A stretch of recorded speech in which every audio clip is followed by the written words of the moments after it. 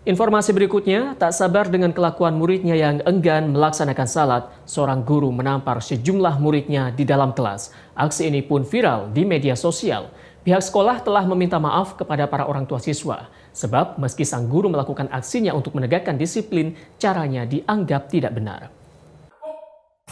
Video seorang guru menampar murid-muridnya ini beredar di kalangan pengguna media sosial.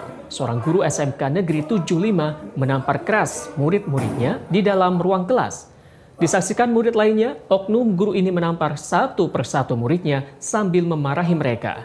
Dalam video berdurasi 27 detik ini, oknum guru menampar sambil marah karena murid-muridnya tidak mau salat zuhur. Menurut kepala sekolah, satu sisi tindakan guru tersebut sudah benar karena bertujuan menegakkan disiplin dan mengajarkan kebaikan kepada muridnya untuk salat. Aksi itu juga disebut karena terpancing dengan ucapan salah seorang murid.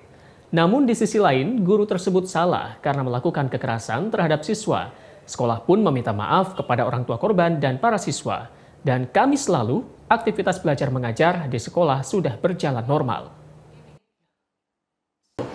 Yayasan sepakat apabila terulang kembali guru yang bersangkutan akan istilahnya dilepas. Oh, diberhentikan Jadi ya, Pak? ya dari statusnya guru SMK 75 Dua Purwokerto. Oh,